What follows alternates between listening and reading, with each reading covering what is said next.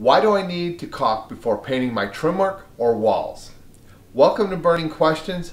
I'm Mark, and that is your burning question for today.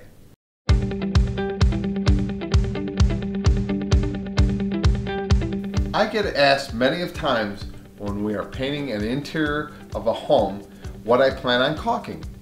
So what I generally like to do is take the customer around the project area and tell them what we are doing and why we're doing it.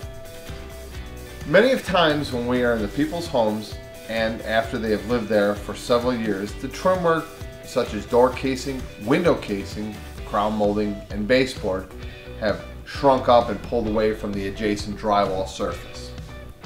And most homeowners don't even see that little black line which is a gap between the wall and the trim work shows up. And their comment to me is something to the effect that they thought that's the way it was supposed to be.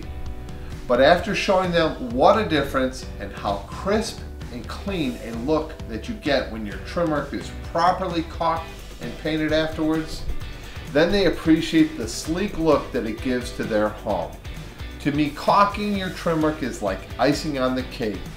It really does create a more finished look, but it also can provide a layer of protection when it comes to windows and doors that may not be properly insulated caulking the trim work to keep the wall, keep the walls, the, the cold air out in the winter and the warm air in the summer, providing a much more comfortable environment in your home. Thanks again for joining us. Send us in your burning questions and I'll put them out.